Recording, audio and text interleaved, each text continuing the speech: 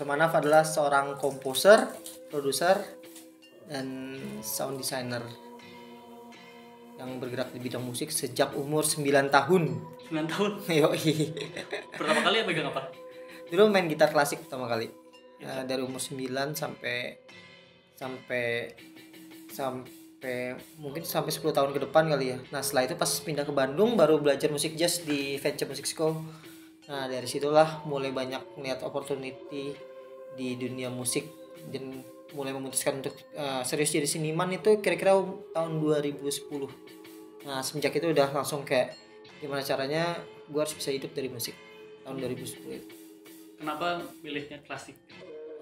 dulu sih normal aja sih ya karena eh, karena abang juga dulu main gitar klasik terus eh, ayah juga eh, papa juga nyuruh untuk saya main gitar klasik juga kayak udahlah coba aja segala macam kenapa enggak ternyata kasihkan kasihkan udah akhirnya kayak serius banget dan beneran fokus banget di di di gitar klasik dan akhirnya sampai kayak beberapa kali juara kompetisi segala macam kayak gitu-gitu. Yamaha segala macam cuman eh cuman saya ngelihat kayak kayak musik klasik saat itu di dalam kacamata saya saat itu ya kayak kurang eh, kurang kesempatan untuk eh, lebih ke dunia luarnya. Jadi kayak menurut aku kayak lebih konservatif antara jadi antara jadi eh, bermain di kompetisi atau jadi guru. Nah, aku Hmm. agak menghindari hal itu. Sebenarnya nggak masalah banget sih Hmm. pilihan karir seperti itu. Amat sangat oke malah.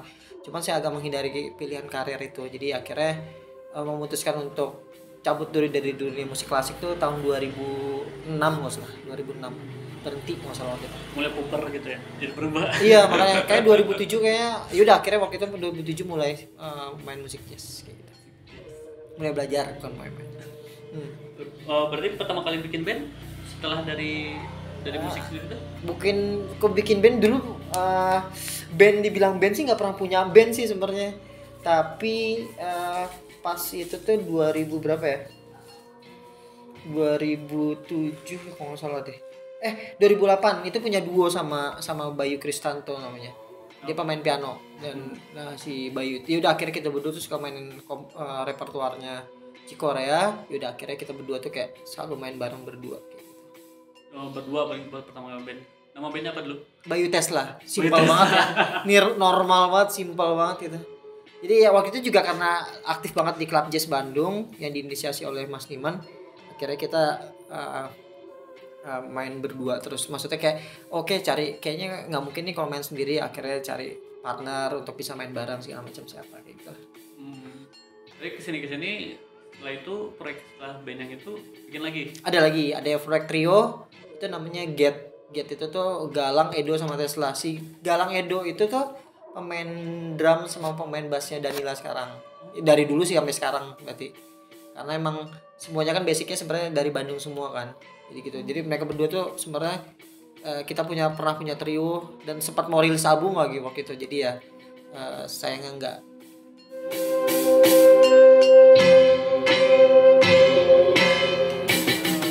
musik apa nih Eh, nggak tahu sih musik menurut aku tuh kayak eh, sesuatu yang bisa buat gua semangat untuk bangun pagi-pagi atau eh, semangat untuk nggak tidur lebih cepet gitu. Dan eh, sesuatu yang selalu ngebuat gua terkejut juga setiap saat.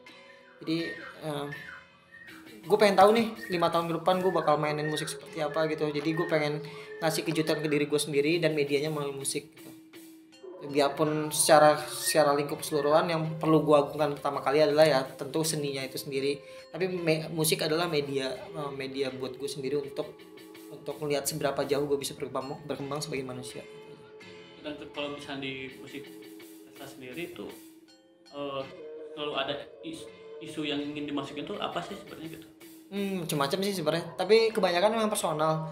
Tapi eh, emang campur sih biasanya untuk isu-isu dan narasi-narasi yang gue bawa tapi eh, kebanyakan memang personal Eh, kayak gimana misalnya hal seharian gitu, hmm, ya macam-macam lah keresahannya gitu. Ya, tapi gak personal pasti susah diceritakan. ya, tapi personal ter, eh, apa kebanyakan tuh emang personal. Pernah ini gak sih? Kan hampir seumur hidup ya. Pesan gitu. Hmm, nah itu sih gue masih nemuin kejutan-kejutan baru itu. makanya gue nggak pernah bisa berdiam di satu genre ataupun di satu alat musik gitu. Karena eh, karena menurut gue tuh orang orang yang amat sangat amat sangat keren dan disiplin banget untuk bisa bertahan di satu genre dan di satu satu alat musik itu. Dan sayangnya gue orang yang nggak seperti itu. Gue orang yang pengen nyoba satu hal yang baru yang di luar kebiasaan gue sama sekali gitu sebisa mungkin 180 derajat biar gue nyoba semuanya dari nol lagi. Karena gue nggak pengen jadi orang yang paling pintar di dalam satu ruangan. Gue selalu berusaha untuk jadi orang paling bodoh di dalam satu ruangan itu karena dengan gue jadi orang paling bodoh gue punya kesempatan belajar lebih banyak dari orang lain pastinya kan. Gitu. Itulah enaknya jadi gue bisa mencrok-mencrok ke berbagai skena ngelihat orang. Maksudnya ngeliat orang baru ngeliat ketemu bakat baru ngeliat orang-orang yang gue dewakan lagi gitu. Ngeliat uh, punya teman baru punya teman luas dari berbagai kota berbagai ras segala macam. Akhirnya enak banget. Berarti kalau misalnya dari genre ke genre gitu kan kadang mempertanyakannya tuh Tesla tuh genrenya apa? Apa ya? Hmm, gue juga nggak pernah memperklasifikasikan genre sih. Cuman genre itu dibutuhkan untuk uh, untuk dari segi bisnis kali ya. Karena uh, kita harus memberikan uh, harus punya mengkotakkan sesuatu untuk bisa mengklasifikasikannya ke tempat yang perlu kita tuju atau target pasar atau target target apa segala macam kan biar bisa dijual dengan tepat pula kayak gitu. Jadi kalau gue pribadi sebenarnya agak bingung kalau ditanya soal genre karena ya udah mencok mencok itu dari klasik ke jazz world music akhirnya sekarang ke elektronik eksperimental macam-macam banget. Itu termasuk ke dalam kontemporer di situ sendiri berarti? Ya? yes uh, yes benar banget. Kalau dalam kontemporer sendiri berarti ngawalin lagi dari awal gitu? Atau berda apa berdasarkan pengalaman yang udah? Sebenarnya kok dari kontemporer tuh uh, kalau dengar sih udah banyak udah sering banget sih sebenarnya dari kecil karena bokap sering ngasih denger kan. Banyak banget kasih dengar musik kontemporer dari gue balita mungkin. Udah akhirnya yaudah jadi karena dia banyak kasih dengar akhirnya secara nggak langsung itu udah ke bawah aja udah udah udah kayak di alam bawah sadar gitu bahwa apa yang gue ciptakan akhirnya bersinggungan dengan hal tersebut. Jadi menurut gue kayak itu ya hal yang nggak bisa dilepas dari gue juga gitu. Entah itu ada pasarnya atau enggak gitu yang kata orang banyak emang agak sulit pasarnya. Tapi gue nggak bisa berkarya jauh-jauh dari situ gitu. Hmm. dan kalau gue mau hidup gue harus bisa menjual karya gue yang kata orang nggak bisa dijual gitu. Jadi ya harus cari celah gimana caranya harus bisa dijual biar gue bisa hidup. Di kontemporer itu sendiri tuh apa sih sebenarnya gitu? Kalau misalnya di, di musik tuh itu? Uh, kontemporer sendiri ya setiap ahli gue bukan ahlinya Iya, karena gue iya. nggak karena gue Iya. bukan bukan belajar musik juga nggak pernah kuliah musik segala macam tapi kalau menurut pan- tiap ahli itu pasti punya pandangannya Betul, sendiri betul. dan kalau menurut pandangan gue sendiri adalah kontemporer itu adalah uh, uh, sesuatu yang mencoba menabrak sebuah konservatoris gitu Uh, hal-hal yang tradisional dicoba ditabrak dan dicoba di uh, diubah atau dimodifikasi sedemikian rupa hingga menjadi sesuatu yang baru tanpa menghilangkan sifat-sifat tradisional tersebut. Kayak gitu. Akhirnya menjadi satu yang baru gitu. jadi sebuah gabungan-gabungan juga gitu ya? Sebenarnya iya sebuah gabungan atau sebuah eksperimentasi gitu. Jadi kontemporer itu sendiri juga sebenarnya hasil eksperimentasi seniman-seniman yang nggak puas di sifat tradisional itu. Gitu. Sama aja kayak musik pop. Musik pop kan hasil eksperimental juga kan? Iya. kayak gitu. Jadi dari awal musik segala macam dari dari era barok era klasik era era romantik terus tiba-tiba era yang sampai ke kontemporer 60-an atau 50-an segala macam kayak gitu tiba-tiba ada musik 4 per 4 di tengah musik yang amat-amat rumit saat itu gitu. Dari yang dari yang apa ya kasarnya taruhlah dari Miles Davis tiba-tiba ada Beatles gitu. Itu kan sebenarnya eksperimental kan udah eksperimen gitu. Ada orang-orang yang bereksperimen bagaimana bagaimana caranya membuat musik yang uh, lebih uh, biar didengar tuh tidak tidak se- serumit ya maksudnya bukan serumit sih tapi lebih ya mengeksperimen eksperimennya tuh lebih ke ke lebih lebih apa ya lebih mungkin lebih mudah diterima tanpa untuk orang-orang yang nggak perlu sekolah musik atau nggak nggak apa namanya yang untuk bisa menikmati keseharian segala macem kayak gitu. Mungkin karena hampir semua genre juga tercipta atas jamming ya sebenarnya kan. benar banget kan kayak semua jazz juga hasil gitu, eksperimen kan, blues kan. Iya, benar banget ya jazz juga basicnya juga dari blues kan Iya. makanya jadi dari blues dari dari dari blues ke swing terus ke masuk ke semua turunan jazz segala macam kayak gitu tuh semuanya udah hasil eksperimen aja semua gitu dan orang-orang yang eksperimen itu juga sebenarnya orang-orang yang dibilang orang lain adalah orang-orang yang uh, melukai atau mendustai si si tradisi itu sendiri gitu kayak misalnya John Coltrane. Siapa sih yang nggak tahu John Coltrane di dunia jazz kayak gitu? Tapi pertama kali dia muncul dengan Love Supreme-nya itu tuh dia dikasih bintang satu di mana-mana gitu. Karena emang saking orang ngerasa kayak oh ini bukan jazz gitu. Lu nggak main tradisional dan lu bukan jazz gitu. Tapi tiga tahun kemudian orang baru nyangka bahwa apa yang dia buat itu adalah amat sangat amat sangat jauh eh, eh, amat sangat beyond banget gitu. Amat sangat di masa depan banget musiknya gitu. Jadi orang baru nyadar bahwa apa yang dimainkan John Coltrane itu adalah eh, jazz yang sekarang gitu jazz yang amat sangat nggak nggak akan pernah nggak akan pernah punah selamanya gitu karena karena mungkin karena asing mungkin ya mendengarnya asing terus tiba-tiba kayak gini betul sih, itu gitu. di genre apa pun itu di genre apa pun orang yang keluar dari pakem pasti bakal disangka eh, pasti bakal disangka ya yang menodai si tradisi gitu. Aneh gitu sebetulnya wajar banget sering nggak sih disebut gitu musiknya Oh pasti aneh. banget, ya itu pasti banget, kenapa enggak? Tapi ya banyak lagi yang lebih parah sebenarnya, terutama di orang-orang di musik-musik tradisional, Hmm. kayak gitu. Orang-orang musik tradisional biar dia dengan misalnya main main rebab dengan cara yang aneh dikit gitu, dia bisa dituduh yang enggak sama sama seniornya atau sama orang yang terlalu fokus sama yang radikal sama tradisinya gitu. Atau ngubah tuning gamelan gitu. Itu kan udah blasphemy banget kan, kayak udah menodai banget gitu. Jadi ya tapi kan ya maksudnya lihat aja gitar sekarang. Gitar bentuknya udah kayak apa coba?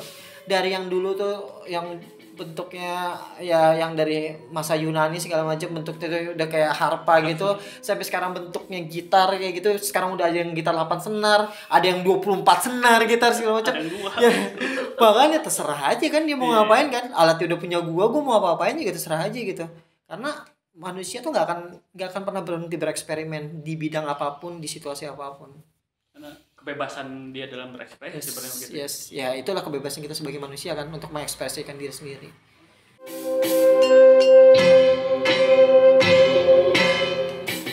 Waktu di dunia jazz itu hampir jarang sih. Eh, palingan pas album gue yang dirilis eh, di New York itu waktu itu. Dirilis label di New York.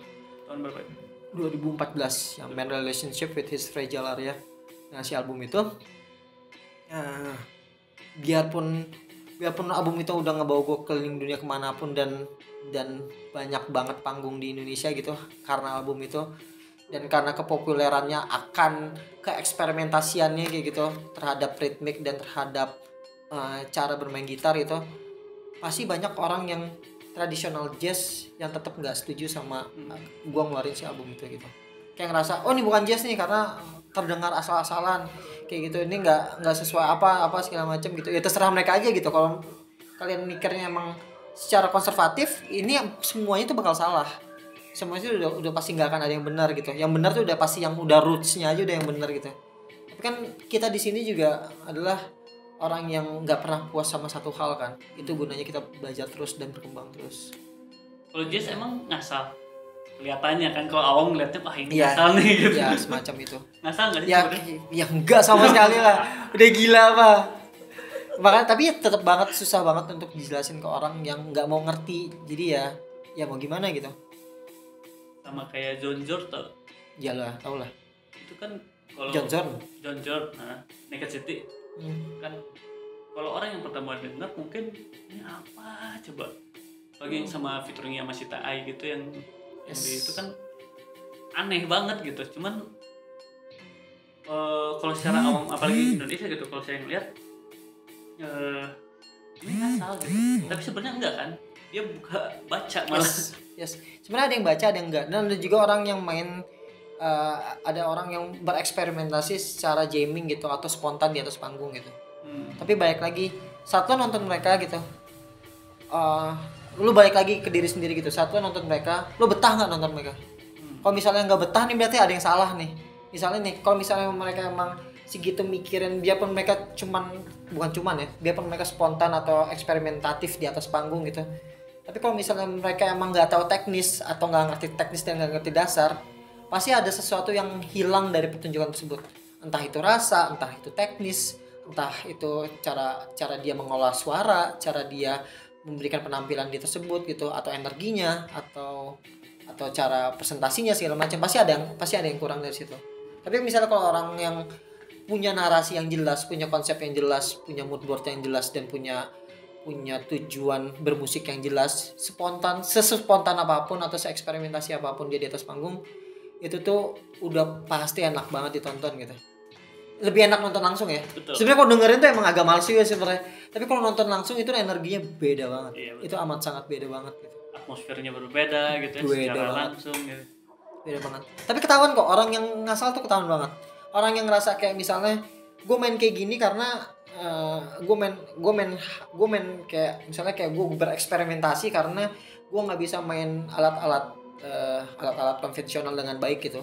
Akhirnya dia meluapkan energinya dengan dengan si ah, si, si dengan cara eksperimen eksperimen gitu. Tapi kalau misalnya dia emang sebenarnya itu banyak banget sih yang bagus banget sebenarnya. Kayak misalnya tuh dia eksperimen di misalnya musik noise segala macam dia mengeksperimenkan atau menampilkan energinya dia di atas musik noise gitu. Itu kadang-kadang enak banget dan dan enak banget didengar gitu. Tapi banyak juga orang yang ngerasa kayak eh, ngerasa kayak oke gue nggak butuh nih dasar gue nggak butuh nih kayak kayak dengerin musik yang apa segala macem. Gue nggak perlu gue nggak perlu tahu teknisnya nggak perlu apa segala macam yang penting bunyi noise aja. Nah itu pasti kedengarannya beda banget. Hmm. beda banget orang yang beneran main main bunyi, bunyi noise yang tapi dia punya narasi dan orang main bunyi noise tuh emang ya ya ya udah gue pengen main aja gitu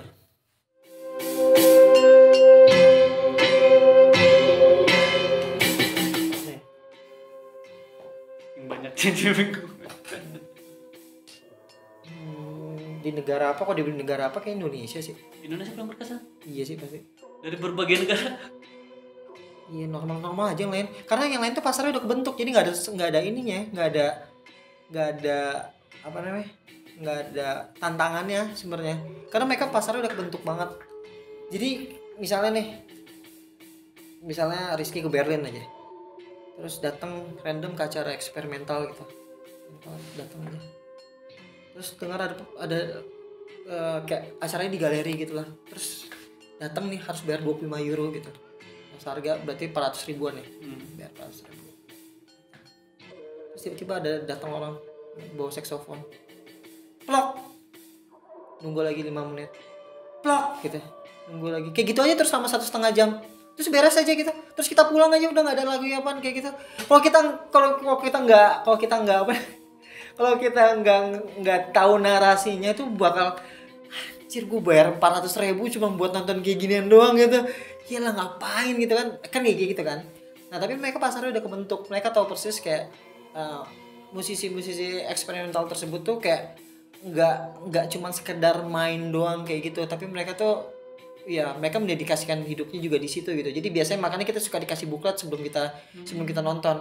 Karena kita biasanya selalu baca narasi mereka tuh kenapa mereka main seperti itu. A- ada apa di balik itu semua segala macam. Kenapa dia mempresentasikan seperti itu segala macam. Jadi sebenarnya kita datang juga disuruh mikir sebenarnya. Udah bayar suruh mikir lagi kan kayak Hana masa aja udah dibayar suruh masak sendiri. Jadi ya makanya jadi kayak ya itu dia sih susahnya. Eh, bukan susahnya sih maksudnya mereka tuh udah kebentuk banget. Dan karena kebanyakan negara maju itu sulit untuk menerima entertainment kita kan enak ya. Maksudnya tiap gang ada orang yang main gitar. Ah. kita ke Alfamart Indomart ada nyetel lagu kan. Di sana kan nggak bisa sama sekali. Oh gitu? Ya nggak bisa sama sekali. Karena itu ada eh, copyrights kan. Jadi kalau misalnya nih kita dengar musiknya Sting di lobby hotel gitu. Kita dengar tapi dia nggak izin sebenarnya si orang lobby hotelnya dia cuma muter doang gitu nggak izin. Itu bisa denda jutaan dolar. Karena mereka nggak bisa eh, karena itu copyrights kan. Karena itu lagu gua karena saat gue nyetel lagu orang gue berharap orang bisa datang ke tempat itu dan bisa stay di tempat itu kan. Hmm. makanya kalau di sana tuh di kafe-kafe atau di eh, di wedding organizer tuh kebanyakan sorry di kafe-kafe atau bar-bar itu kebanyakan mereka main lagu sendiri. Karena kalau bayar kalau misalnya mereka mainin lagu orang mereka harus bayar ke artisnya ke royalti ke artisnya dan si tempatnya itu pun juga harus bayar kayak gitu. Makanya jadi mereka nggak bisa cover lagu orang. Walaupun main live gitu. Eh, eh, karena main live itu lebih bahaya lagi. Oh gitu? Karena kan misalnya kita datang nih kita datang tiba-tiba ada yang main live yang main top 40-an lah segala macam kayak gitu lagu-lagu Rihanna atau lagu-lagu Taylor Swift kayak gitu. Berarti orang datang dengan harapan mereka udah bisa dengar lagu-lagu eh, Taylor Swift atau Rihanna secara live kan nah itu mengundang masa kan? Dan itu mengundang bisnis jadinya. Jadi orang banyak yang beli minum di tempatnya atau jadi orang banyak booking meja di tempatnya. Nah itu kan udah mempergunakan si si haknya si Taylor Swift dan Rihanna itu saat dia membuat lagu untuk uh, untuk entertain kan sebenarnya. Nah si si Rihanna sama si Taylor Swift itu harus punya dapat hak dari dari dari orang yang perform itu. Kayak gitu. Jadi ya makanya di sana tuh jarang banget. Jarang banget yang namanya kita bisa dengerin orang uh, mainin lagu orang lain segala macam itu tuh harus bayar semuanya jadi kalau di wedding di luar negeri kalau di wedding misalnya bawain lagu siapa misalnya bawain lagu Adele ya kita harus bayar ke si wedding organizernya harus bayar jadi mereka di list dulu lu bakal bawain lagu apa aja nih aku bawain, bakal bawain 8 lagu The Course nanti misalnya oke mereka harus bayar 8 lagu itu semua royaltinya ke The Course Kayak gitu. segitunya. Nah emang harus kayak gitu. Kalau nggak kayak gitu mereka nggak akan hidup. Nah itu yang membuat mereka eh, tahu ini nggak ada lagu My Way. My way tahu. Nah, nah yang nyiptain lagu My Way itu itu tuh dari tahun 60-an sampai dia nanti punya punya cicit dan cicitnya punya cicit lagi itu tuh nggak akan pernah kehabisan duit cuman dari royalti satu lagu My Way itu dong karena si si musiknya terus dimainin di seluruh dunia di mana pun dan orang-orang yang memainkan itu bayar royalti ke si si siapa si pencipta lagu tersebut gitu nah itu yang membuat dia hidup membuat cucunya hidup kayak gini nanti Berarti kalau di Indonesia termasuk bebas banget ya. amat sangat bebas Orang Makanya. sekarang nge-cover Chrisye gitu. Iya bener gitu. banget. Tapi ya karena basicnya juga nenek moyang kita kan seniman semua. Kita punya uh, lim- punya 500 bahasa, bayangin 500 bahasa aja ada 500 biji coba. Budaya kita ratusan gitu, ke pulau kita ribuan gitu. Itu tuh di tiap budaya kita punya musik sendiri gitu. Kita punya alat musik sendiri, punya arsitektur sendiri, punya bahasa sendiri di tiap budaya gitu. Ada ratusan budaya di di negara Indonesia sendiri. Jadi itu udah basicnya negara udah basicnya si Indonesia tuh emang harus ada ada entertain di in- di apa di keseharian kita gitu makanya jadi kita emang agak telat soal royalti itu. Tapi yang pasti kalau misal royaltinya ada itu akan memusnahkan banyak sekali band-band top 40 atau band-band cafe di seluruh Indonesia pastinya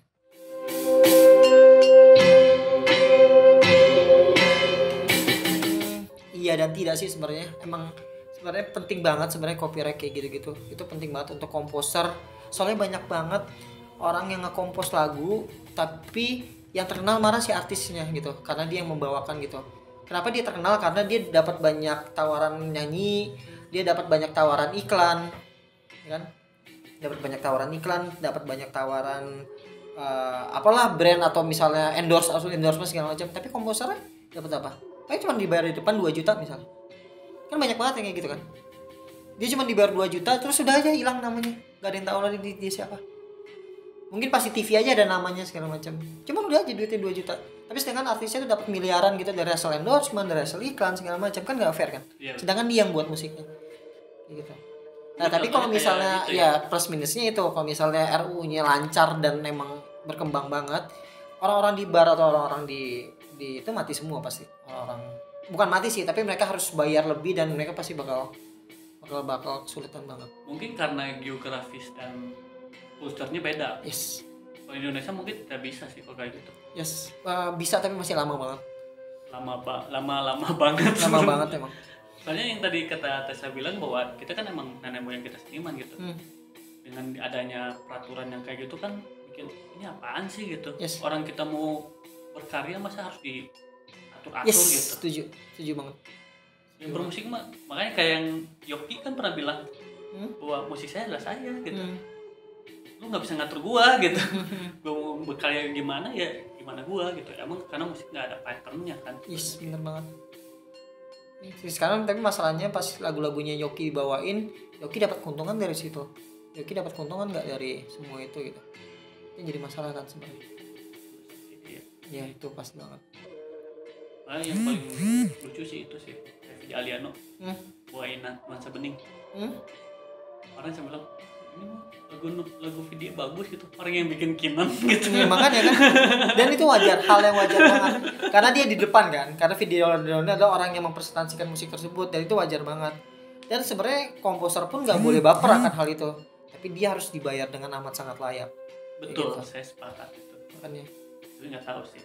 tapi kan biasanya kan kayak gitu kan. Jadi kan karena kita tuh nggak tahu biasanya eh, Indonesia tuh jarang banget kontrak yang kayak udah gimana nanti aja udah santai aja lo nggak usah kontrak-kontrak udah langsung buat apa segala macam.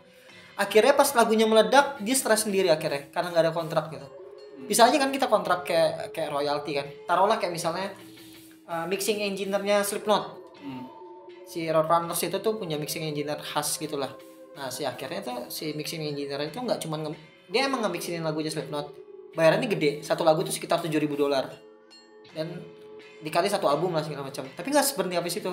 Dia tuh dapat berapa persen berapa sekian persen dari penghasilan si album juga gitu. Jadi misal misal penghasilan albumnya ntar ada 10 juta kopi di seluruh dunia dia juga dapat persenan dari itu gitu.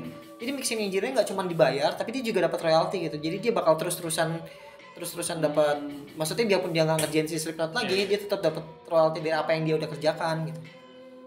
Tapi hal hal itu kalau di Indonesia karena di Indonesia sendiri menurut saya emang ekosistem si musiknya sendiri tidak jelas. Yes yes bener ya. emang terlalu banyak juga sih ya pelakunya kan. Dan makanya kan kalau di kita sebenarnya ini musisi atau seniman itu bukan profesi kan. Maksudnya malah ngamen. Yes Jadi kalau nggak ngamen nggak makan lah intinya kayak Yes, gitu kan kalau di, kalau di Indonesia ya jadinya kayak harus perform kan gitu betul Nah, untungnya di Indonesia untuk perform itu amat sangat perizinan bisa dibilang amat sangat mudah dibandingkan negara-negara maju. contohnya Amat sangat mudah dibandingkan negara maju kayak gitu. Karena hasil ekonomi dari dari entertainment pun amat sangat besar juga untuk perpajakan pemerintah pastinya, pemerintah daerah terutama. Kayak gitu. Dibandingkan di negara-negara luar yang mau mau berisik di kamar sendiri pun nggak bisa. Ya kan di apartemen, dindingnya tipis. Kita mau setel lagu juga dimarahin. Jadi mereka kurang kan? Mereka tuh kurang banget sama entertain gitu. Mereka bangun pagi, kerja, pulang kerja, terus ke rumah gitu nggak tahu lagi mau ngapain gitu. Mereka butuh entertain kan? Jadi saat mereka butuh entertain, mereka harus bayar. Ya udah akhirnya mereka datang ke acara teater, mereka ka- datang ke acara musik, datang ke acara apa pun dan mereka bayar gitu. Dan mereka rela bayar 50 euro untuk untuk satu pertunjukan musik gitu. makanya yang penting kehibur ke bar yang main apa lah yang Yes, penting yes. terhibur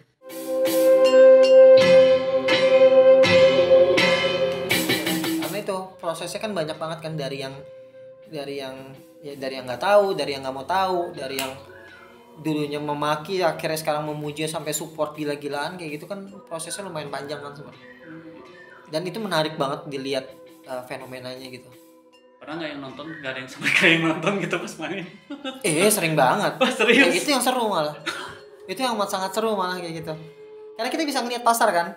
Uh, mungkin emang mungkin pas gue mainin musik gue gitu di tempat yang gak tepat gitu itu mungkin orang bakal apa sih aneh segala macam.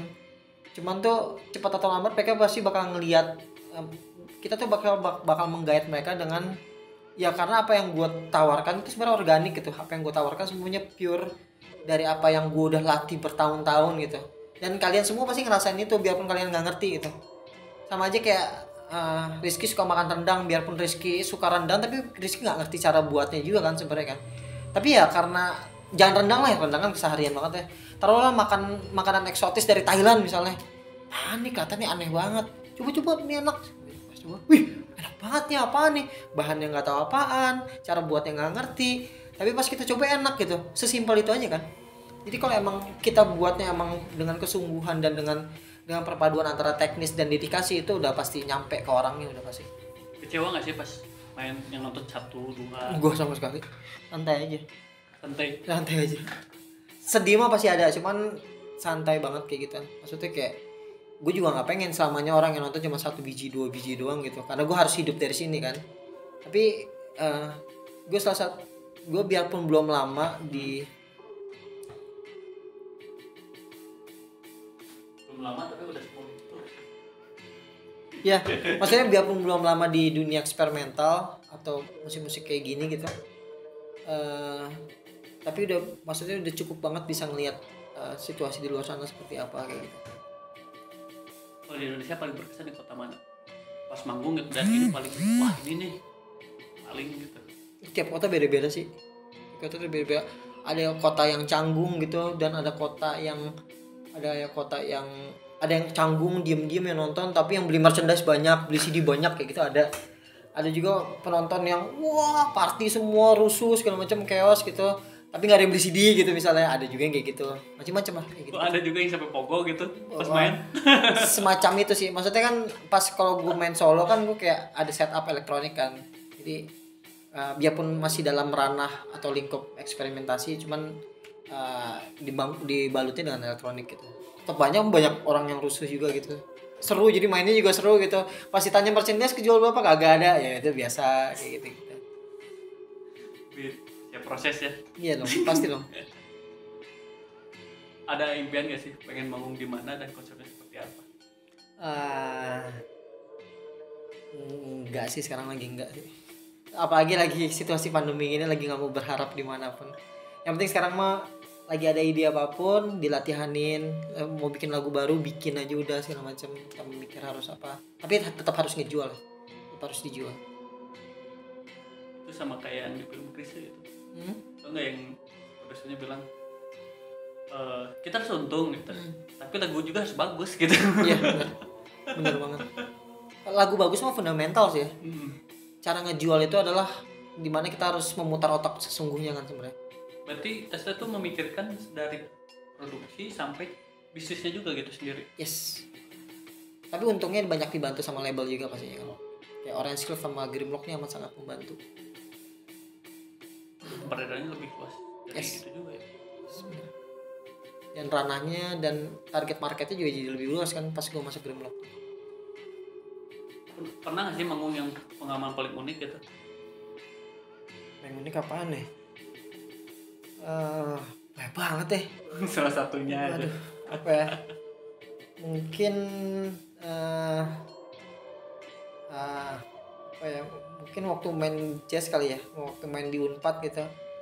Oh, wah kita tepuk tangan.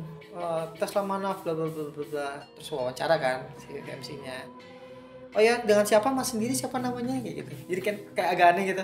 Maksudnya Tadi udah dikira tuh Tesla Manaf tuh nama band gitu. Yaudah akhirnya gue nyebut nama saya Bambang gitu. oh mas Bambang tadi lagunya gimana? Lagunya tentang apa sih? Maksudnya gitu kan. Pengen nonton 200 orang gitu. Jadi oke di Unpad itu tuh. Di Unpad di Masih kampung kuliah? jazz di kampung jazz. Oh kamu jazz. Luar biasa emang. kalau di luar negeri pernah nggak? Apa gitu? Ah, bawa gitar gitu misalnya harus manggung gitu? Eh apa ya?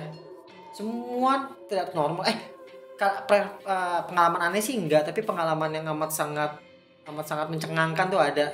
Waktu pertama kali main di Singapura gitu tuh main acara normal aja sebenarnya acara eksperimental normal gitu cuman kan kita biasa ya dengan kalau ke- kejorokan listriknya kita gitu. Jadi kalau misalnya ngetel apa tuh selalu ada noise gitu kan. Ada hiss atau hum kayak gitu kan. Suatu saat main di Singapura aja. Ya, nyala nih semangat oh nyala ya? Nggak ada noise sama sekali ya. Itu beneran heningnya total banget gitu. Kalau tuh kayak cuman pakai adapter 300 ribuan gitu. Itu gila nih kenapa nggak ada bunyi sama sekali? Itu saking bersihnya listriknya mereka gitu itu tuh nggak ada yang ngalahin di negara apa pun nggak ada yang ngalahin. Makanya utilities mereka pas bayar listrik juga mahal banget kan. Kita sebulan juga paling cuma 300 ribu 400 ribu kan. Mereka tuh sebulan mungkin bisa 5 juta kali. Gitu jadi kayak jadi kayak wih nggak ada bunyi apa pun gitu sama sekali. Banget. tapi servisnya juga terbaik waktu ya. Apa? Gimana? Dia servisnya berarti terbaik untuk listriknya. Oh itu gila banget. Mereka gila banget. Makanya alat-alat tuh jadi jadi awet banget di sana. Alat kayak gitu di kita tuh kayak khawatir rusak atau apa segala macam